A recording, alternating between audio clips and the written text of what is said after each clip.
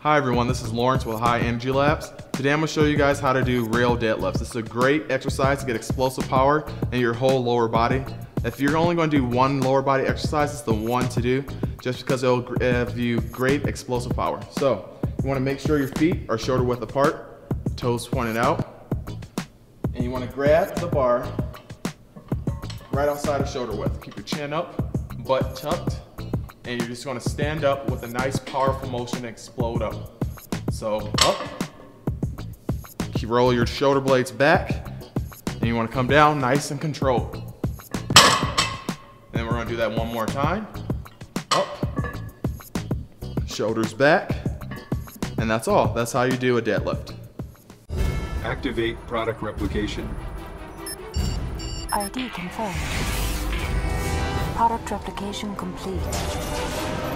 Initiate body transformation process. Activating sequence. Please stand by.